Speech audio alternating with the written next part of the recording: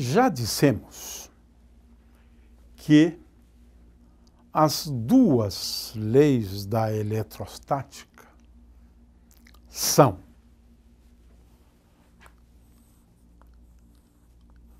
divergente de E igual a ρ sobre epsilon zero. Esta é uma lei, também conhecida como lei de Gauss. Aqui a gente está usando lei de Gauss em dois sentidos distintos. Né?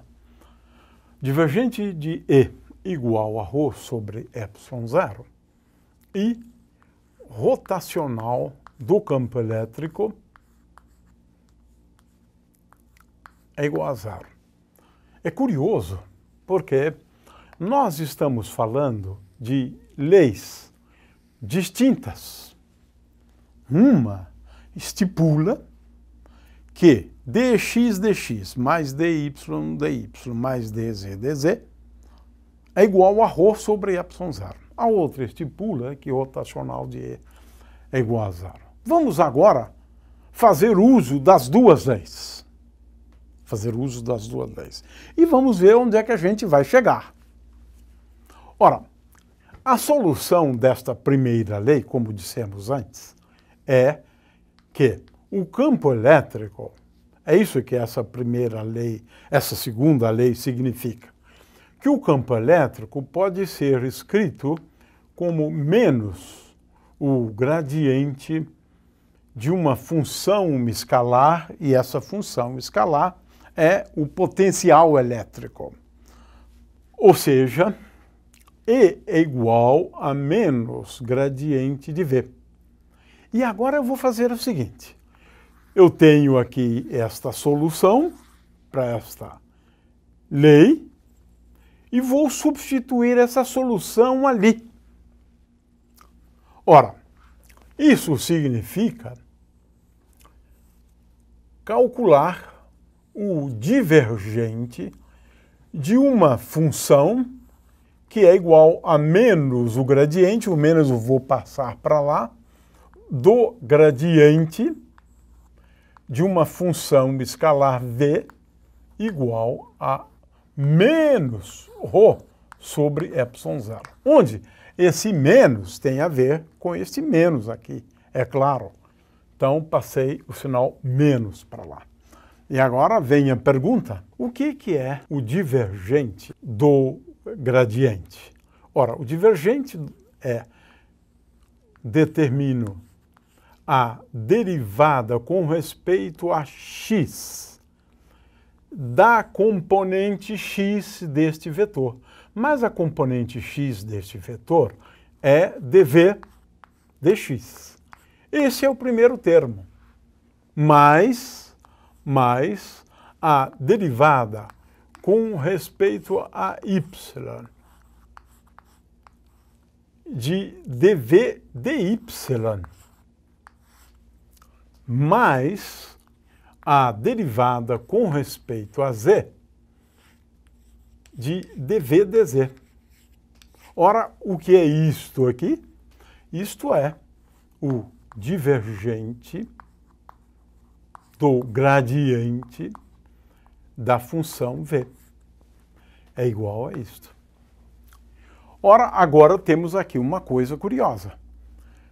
D dx de dv dx é igual a d2 dx2 da função v mais d2 v dy2 mais d2 dz2 de v. Isso aqui é o divergente do gradiente de v. Por definição. Portanto, combinando as duas leis, eu concluo que o potencial elétrico é tal que a derivada do potencial elétrico com respeito a V,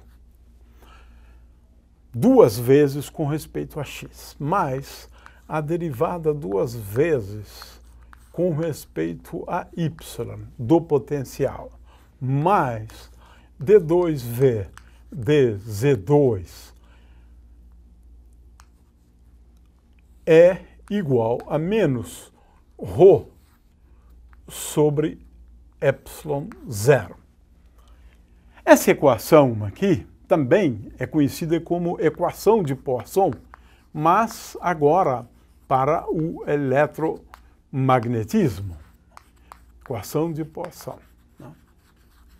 Ou seja, nós acabamos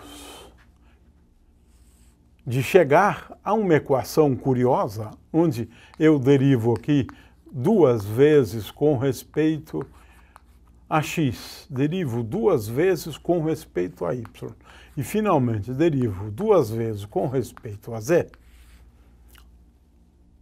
o potencial e essas derivadas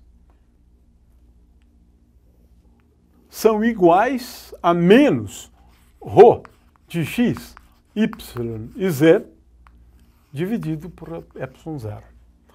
E esta aqui agora passa a ser a equação fundamental da eletrostática. Usualmente, nós representamos este termo como sendo gradiente ao quadrado. Né?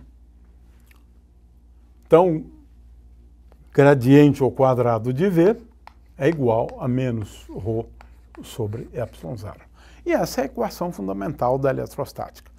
Em problemas nos quais nós não temos valores de contorno, a solução dessa equação se pode mostrar que é aquela solução bem conhecida por nós. V de x, y e z é igual a é igual a 1 sobre 4π epsilon zero vezes integral de volume de ρ dv, e aqui eu coloco módulo de R menos R', sendo que esse ρ aqui é função de x', y' e finalmente z'. Portanto, esta solução que apresentamos anteriormente, baseados no princípio da superposição, é formalmente uma solução da equação de Poisson. E essa sim passa a ser a equação fundamental da eletrostática, porque ela abre agora a possibilidade de nós termos soluções para problemas mais gerais do que esses, envolvendo distribuição de cargas. Podemos resolver problemas nos quais nós especificamos valores de contorno, ou seja, valores para o potencial ao longo, por exemplo, de superfícies. É uma formulação, portanto, mais geral, a mais geral da eletrostática.